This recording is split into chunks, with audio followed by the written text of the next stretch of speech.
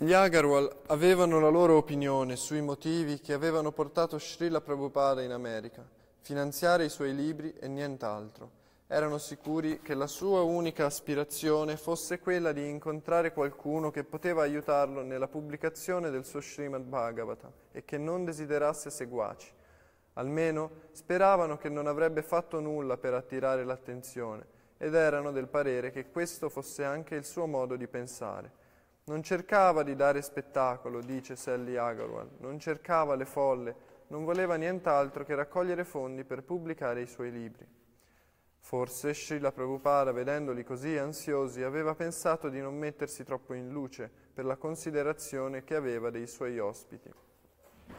Su richiesta di Srila Prabhupada, comunque, il signor Agarwal teneva una specie di dibattito aperto nel suo appartamento ogni sera dalle 6 alle 9. Sally racconta. Il nostro gruppo era formato da persone di una certa cultura e lui affascinò tutti. Non sapevano bene che cosa chiedergli, non ne sapevano abbastanza. Era come un sogno uscito da un libro. Chi si sarebbe aspettato di trovare uno Swami in un salotto di Butler in Pennsylvania? Era davvero incredibile, nel mezzo della borghesia americana. I miei genitori, anche se abitavano abbastanza lontano, vollero venire a vederlo. Conoscevano diverse persone a Pittsburgh e vennero anche loro. Era un avvenimento veramente straordinario averlo qui con noi, anche se in fondo l'interesse che tutti dimostravano era soltanto curiosità. Aveva una macchina da scrivere, una delle poche cose che possedeva, e un ombrello. Questa era una delle cose che colpiva, il fatto che portasse sempre con sé l'ombrello. Faceva un po' fresco e lui era calvo, perciò portava sempre un berretto che qualcuno gli aveva fatto, qualcosa che assomigliava a una cuffia da bagno. Ed era così brillante che quando vedeva qualcuno per la seconda volta sapeva chi era, se lo ricordava. Era davvero un uomo brillante. O se incontrava delle persone a casa nostra e poi le vedeva in macchina, si ricordava come si chiamavano e le salutava con la mano, chiamandole per nome. Era un uomo brillante, piaceva a tutti, rimanevano tutti colpiti dalla sua intelligenza. Quello che li conquistava di più era il fatto che ricordasse il loro nome. Anche il suo senso dell'humor sembrava, dell'humor sembrava sempre molto serio, ma aveva un grande senso dell'umorismo. Il suo aspetto era severo, ma aveva un fascino tutto speciale. Era l'ospite meno difficile che avessi mai avuto, perché quando non avevo tempo da dedicargli, si metteva a recitare le sue preghiere e sapevo che si sentiva perfettamente felice.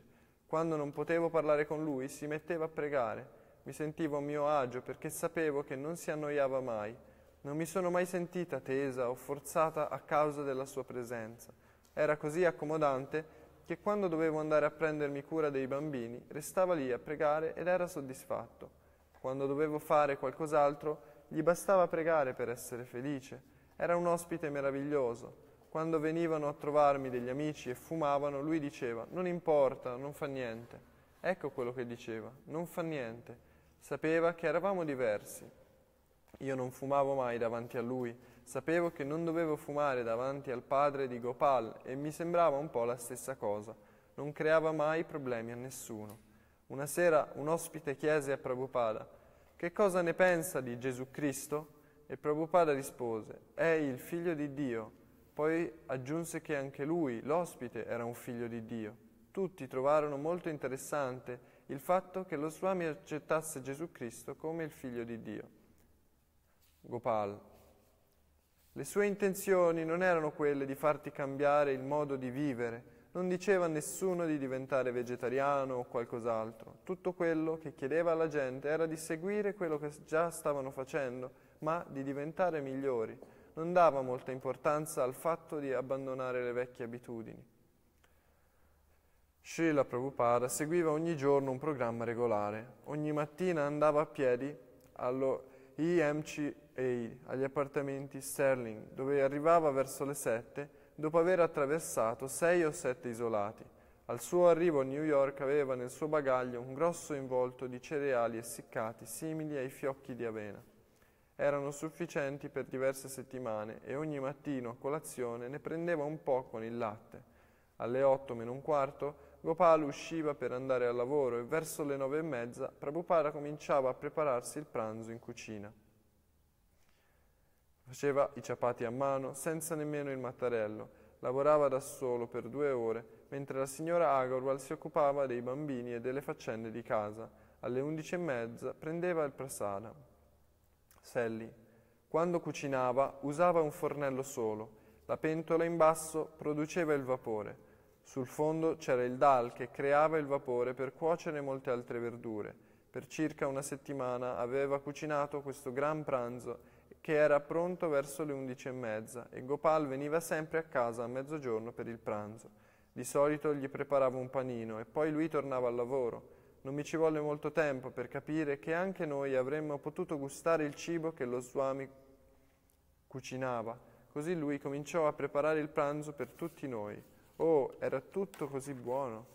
Per noi era un divertimento mostrargli quello che sapevamo dell'America e lui non aveva mai visto cose del genere. Era così divertente portarlo al supermercato, si divertiva un mondo ad aprire i pacchetti di ocra o di fagiolini surgelati, non doveva pulirli o tagliarli, niente di tutto questo.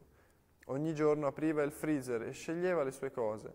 Era uno spasso starlo a guardare. Si sedeva sul divano quando passavo l'aspirapolvere. La cosa lo incuriosiva moltissimo e ne parlavamo a lungo. Era una persona così interessante. Ogni giorno c'era quel grande banchetto e mi divertivo un mondo. Era davvero molto piacevole. Lo aiutavo a tagliare le verdure. Lui metteva le spezie e ridevamo. Era una persona piacevole, davvero amabile. Mi sentivo come una figlia per lui e anche, anche se lo conoscevo da così poco tempo, come se fosse mio suocero. Era un amico di mio suocero, ma io mi sentivo davvero molto vicina a lui. Era entusiasta di tutto. Mi piaceva stare con lui, lo trovavo eccezionale. Dopo pranzo, a luna circa, Prabhupada usciva e andava a piedi fino allo EMCA, dove probabilmente, come pensavano gli Agarwal, lavorava ai suoi libri fino alle 5. Tornava al loro appartamento verso le sei di sera, dopo che avevano cenato. mangiavano carne, perciò era venuto più presto del solito. No, scusatemi. Mangiavano carne, perciò la signora Agora aveva l'accortezza di toglierla di mezzo prima che lui arrivasse. Una sera, che era venuto più presto del solito, la signora Agarwal disse «Oh, Swamiji, abbiamo cucinato della carne e l'odore ti disgusterà». Ma lui rispose «Non vi preoccupate, non fa nulla». La sera si intratteneva con gli ospiti. Agli ospiti veniva offerto del caffè e un rinfresco, ma lui chiedeva un bicchiere di latte caldo alle nove. Restava a parlare fino alle nove e mezza o alle dieci di sera. Poi il signor Agarwal lo riaccompagnava in macchina allo IMCA. Srila Prabhupada faceva il suo bucato ogni giorno. Si lavava gli abiti nella stanza da bagno degli Agarwal e li stendeva ad asciugare fuori. Talvolta accompagnava gli Agarwal alla lavanderia a gettone ed era curioso di vedere come gli americani lavavano e asciugavano i loro abiti. A Sally sembrava che egli fosse molto interessato agli americani e al loro modo di vivere. Sally. Nostro figlio, Bridge, aveva sei o sette mesi quando arrivò lo Swami e gli indiani vanno matti per i bambini. Lo Swami era affezionato a Bridge. Era lì quando Bridge si resse in piedi da solo per la prima volta. La prima volta che Bridge riuscì nel suo tentativo lo Swami si alzò in piedi e applaudì. Fu una festa. Un altro giorno il nostro bambino, che stava mettendo i denti, si mise in bocca le scarpe dello Swami. Pensai, oh, oh, quelle scarpe sono andate in giro per tutta l'India e il mio piccolo le sta succhiando. Sapete cosa pensa una madre? Quasi ogni sera andava a sedersi nel cortiletto di un vicino. A volte andavamo fuori un po' con lui oppure restavamo in salotto. Mi ricordo una cosa che accadde con la nostra bambina, Pamela, che aveva tre anni. La portavo all'oratorio e lì le avevano parlato di Gesù. Allora, nel vedere Swamiji con i suoi abiti lunghi e tutto il resto, lo chiamò Swamiji Gesù e lo Swami sorrise e disse, e un bambino li guiderà. Era così divertente. Srila Prabhupada parlò a vari gruppi della comunità fece una conferenza al Lions Club all'inizio di ottobre e ricevette un documento ufficiale. Attestiamo che A.C. Bhaktivedanta Swami è stato ospite del Lions Club di Butler, Pennsylvania, e in segno di apprezzamento per il servizio reso, il club gli offre il presente riconoscimento. Fece un discorso anche all'OIMCA e al seminario di San Fedele a Herman, in Pennsylvania, e parlava regolarmente con gli ospiti a casa degli Agarwal. Quando il professor Larsen, preside della facoltà di filosofia all'Università statale di Slippery Rock, lesse sul Butler Eagle che era arrivato uno swami indiano, studioso dei Veda, telefonò a casa degli Agarwal per invitare Srila Prabhupada a tenere una conferenza ai suoi studenti. Allen Larsen racconta, avevo chiamato il numero di telefono riportato dal giornale, ma scoprii che in realtà lo Swami abitava in una stanza allo EMCA. Quando arrivai stavo aspettando all'angolo della strada e lo feci salire in macchina. Stava aspettando. Sembrava molto solo. Mentre andavamo a Slippery Rock gli chiesi di dirmi il suo nome in modo da poterlo presentare alla classe. Disse Swamiji Bhaktivedanta e cominciò a spiegarmi che cosa significava. Non ero abituato ai nomi indiani, perciò dovetti ripeterlo diverse volte prima di riuscire a trovare la pronuncia giusta. Non mostrò alcuna impazienza per la mia lentezza. Già da questo primo incontro rimasi convinto che quest'uomo godeva di un equilibrio interiore di una forza che sarebbe stato molto difficile intaccare e questa impressione iniziale venne ulteriormente rinforzata nel corso di quella giornata, che fu piuttosto piena. Un centinaio di studenti di varie classi si erano riuniti per ascoltare la conferenza e Srila Prabhupada, nel suo modo così naturale e spontaneo, si incamminò per il corridoio e salì i tre gradini di legno che portavano al palco. Si sedette a gambe incrociate, con la schiena eretta e cominciò a cantare dolcemente Hare Krishna con gli occhi chiusi. Poi si alzò in piedi e rispose alle domande del pubblico, parlando senza leggio né microfono. Il programma durò soltanto 50 minuti e terminò bruscamente con il campanello che annunciava la lezione successiva. Allen Larsen. Dopo la prima lettura andai fuori a sedermi su una panchina nel parco dell'università con Swamiji per una breve conversazione quando non era impegnato direttamente nella conversazione, ripeteva spesso una breve preghiera, facendo scorrere un rosario tra le dita. Stava seduto a gambe incrociate mentre parlavamo del più e del meno. Disse che gli alberi là intorno erano belli e chiese che specie di alberi sono? Ricordo che risposi sono alberi per fare ombra. Allora disse che era un peccato che non fossero alberi da frutta, che potevano dare beneficio e cibo alla gente. A Luna, Srila Prabhupada tenne un'altra conferenza, poi accompagnò il dottor Mohan Sharma, un membro della facoltà che aveva assistito alla conferenza, e la figlia di 16 anni, Mini, alla loro residenza nel campus. Srila Prabhupada accettò latte caldo e frutta secca e quando il dottor Sharma glielo chiese, benedisse la casa e posò la mano sulla testa di sua figlia. Verso le tre il professor Larsen lo riaccompagnò a Butler. Allen Larsen. Sembrava che lo Swami volesse presentarsi come uno studioso indiano che era venuto per una breve visita, per un lavoro di traduzione. Non ho mai pensato a lui come a un missionario. Tuttavia, in quella giornata sentii nascere un profondo affetto per quell'uomo, perché si trattava, senza alcuna possibilità di errore, di una persona retta che aveva trovato la sua strada verso l'equilibrio e la pace, cosa che è davvero molto rara. Le conferenze in Pennsylvania diedero a Srila Prabhupada i primi dati sul modo in cui il suo messaggio sarebbe stato accolto in America.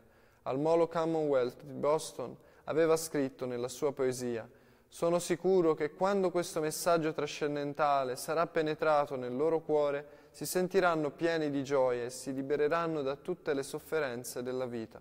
Adesso quel principio sarebbe stato messo concretamente alla prova, sarebbero riusciti a capire erano interessati, si sarebbero sottomessi? Jai. Ci fermiamo qui. Srila Prabhupada ki jai, Srila Prabhupada Lilamrita ki jai, Gaur Premanande Hari Hari Bol.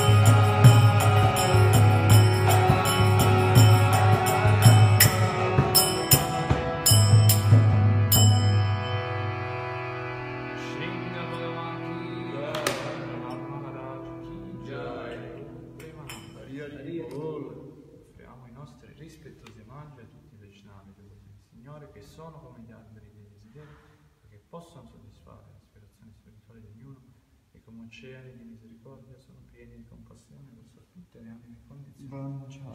Francia,